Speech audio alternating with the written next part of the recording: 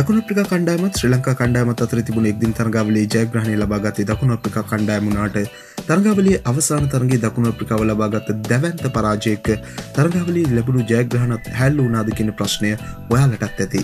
ගෙතරම් ක්‍රඩාගෙන තිබුණ මේ තරගේ දකුණ අප්‍රිකාව ලබාගත්ත පරාජය දකුණ අප්‍රිකා විද්‍යාසේ ලබපු ධර්මතම් පරාජයන් පහටත් එකතු වුණා.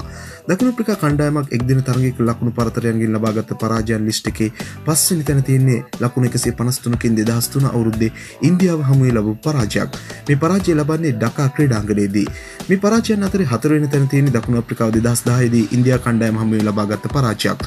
මේ පරාජය දකුණ අප්‍රිකාව ලබාගන්නේ ගලිය ක්‍රඩාංගනයේදී ඒ අවස්ථාවේ ලකුණ එකසේ පනස්තුනකින් තමයි දකුණ අප්‍රිකාව පරාද වෙන්නේ. වාර්තාවේ තුන්ගෙන තැන තියෙන්නේ දෙදහස් දහට ශ්‍රී ලංකාව දකුණ අප්‍රිකා තරගාවලේ දකුණ අප්‍රිකා කණ්ඩායම් ශ්‍රී ලංකාව හමුවේ කෙත්තරම් ක්‍රඩාංගනයේදී ලබාගත්ත ලකුණු එකසිය හැත්තෑ අටක පරාජය. මේ වාර්තාවේ දෙවින් තැන තියෙන තරගේ ප්‍රතිවාදී විදිහට ඉන්නේ ශ්‍රී ලංකා කණ්ඩායම.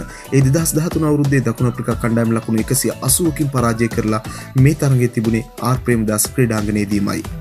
දකුණ අප්‍රිකා කණ්ඩායම එක්දින තරගෙක් ලබාගත් දකුණුතුන් පරාජය වාර්තා වෙලා තියෙන දහස් දෙක අවුරුද්දේදී ඒ ෆ්‍රෝට් of එලිසබෙත් ක්‍රඩාංගනයේදී පාකිස්ාන කණ්ඩායම තමයි එදා දකුණු අප්‍රිකාව ලකුණු එකසිය අසු දෙකකින් පරාචය කරන්නේ.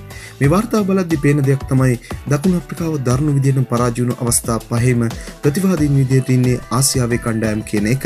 ඔයාල හිතන්නේ ඇයි දකුණ අප්‍රිකා වාසියාව හමුවේ මේ විදිහට අසරණ වෙන්නේ?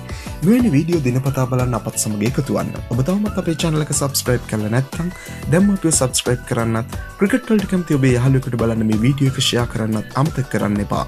ක්‍රිකට් පිටිය නැවම් දෙස පිරි තවත් අලුත් වීඩියෝකින් හමුණතුරු ක්‍රිකට් ලංකාවෙතින් වාට සුබ දවසක්.